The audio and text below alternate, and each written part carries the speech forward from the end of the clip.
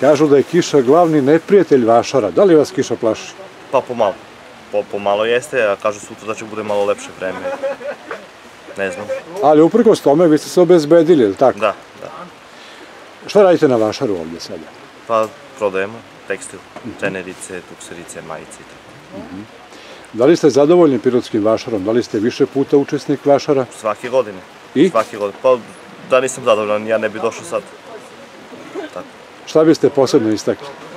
Šta da kažem posebno?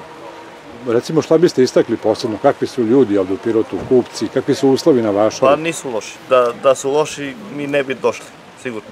Pa čak i po ovoj kiši. Znači, svi smo tu, samo čekamo malo vreme da stane, stane kiša i da počnemo da radimo. Da nije kiše, verovatno bi ovdje sada već bilo ljudi. Pa Vašar bilo počinje... bi puno.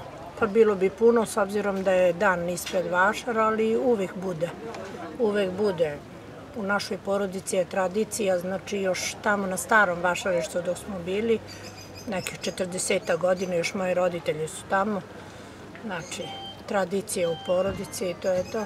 Je- To znači da ste zadovoljni pirotskim vašarom. Pa tu i tamo. Sve, sve više kupovna moć opada i Pre svega šta prodajete? E, program za kuhinju, uglavnom daske, varjače, tako. To je domaća, domaća radinost. Da, da, Sam da, je proizvodite. tradicija, tradicija u porodici, da. Tu su korpe jako lepe, pletene stolice. Svašta nešto, svašta.